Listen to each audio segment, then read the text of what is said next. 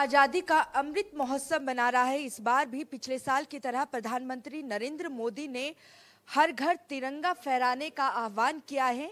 15 अगस्त की अगर बात करें तो इस बार हरियाणा में भी नज़र टिकी रहेगी। नूह की अगर बात करें तो नूह में हरियाणा के परिवहन मंत्री मूलचंद शर्मा जी ध्वजारोहण करेंगे।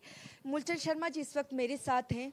सर 15 अगस्त के दिन आप जाने वाले हैं। हरियाणा सरकार में पहले कैबिनेट मंत्री होंगे जो वहाँ पर वहाँ का दौरा करेंगे और ध्वजारोहण करेंगे। किस तरीके की अपील जनता से करेंगे, खासकर नूह की? देश की आज़ादी का क्षेत्र में तिरंगा फहराने का मुझे नूह जिला मिला है ध्वजारोपण मिला है। और मेरी तो अपील ये कि सब लोग शांति, भाईचारा बना के रखें और शांति से ही देश आगे चलेगा और भाईचारे से आगे चलेगा और सब लोगों को मिलकर हमें देश के लिए काम करना चाहिए। क्योंकि सर, नूह की अगर बात करें, उस जगह पे आप पहुँच जाएँगे जहाँ पर कर्फ्यू लगा है। हालाँकि आज ढील भी दी गई है और ऐसा भी कहा जा रहा है कि वहाँ पे जो संख्या, क्योंकि हिंदू की कम है, वो पलायन भी वहाँ से कर रहे हैं। तो किस तरीके से वहाँ पर आपकी स्पीच रहेगी, क्या कुछ? नहीं, जो भी सरकारी स्पीच होगी, उसी पे स्पीच देंगे, जो भी होती है। सब लोगों की होती है, उसी पे अपनी स्पीच देंगे।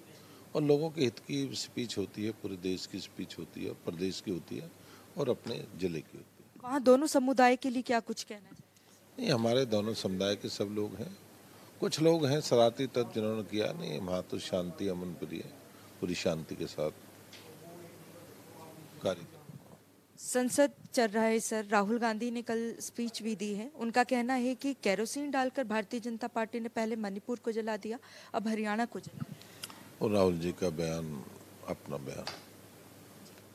और क्या कुछ कहना चाहेंगे सर जनता से आप? क्योंकि जिस तरीके के दंगे वहाँ पर हुए हैं हालाँकि बलडोजर की कार्रवाई भी की गई उस पर रोक है हाई कोर्ट की। आफ्ताब अहमद जी जो नूह से एमएलए हैं वो कह रहे हैं कि गरीबों का घर उजाड़ दिया है भारतीय जनता। देश की आज़ादी का क्षेत्र में दो हज़ार रोपण होगा वहाँ पे। और मैं इस कार्यक्रम में जाऊँगा। वहाँ के सब लोग अपने इलाके के लोग हैं। भाईचारा पहले भी रहा, देश की आज़ादी के लिए दोनों समुदाय के लोग इकट्ठे लड़े हैं और हमने उस आज़ादी की लड़ाई के किस्से सुने हैं।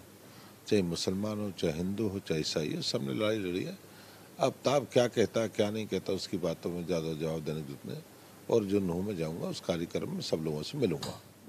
धन्यवाद सर। मूलचंद शर्मा जी हरियाणा के परिवहन मंत्री जो कि 15 अगस्त को नूह पर पहुँचेंगे ध्वजारोहण करेंगे। इनका कहना है कि दोनों ही समुदाय हिंदू हो चाहे मुस्लिम सभी से इन, इन्होंने शांति की अपील की है और साथ ये कहा कि दोनों समुदाय के लोगों से ये मुलाकात भी करेंगे क्योंकि नूह में इसलिए भी सबकी नज़रें टिकी हैं वहाँ पर कर्फ्यू लगा है और जिस तरीके की इकतीस जुलाई को हिंसा हमने देखी है उसके बाद खासकर हिंदू परिवार में डर का माहौल है। कैमरामैन गणेश के साथ नेटवर्क टेन के लिए चंडीगढ़ से ईशा ठाकुर।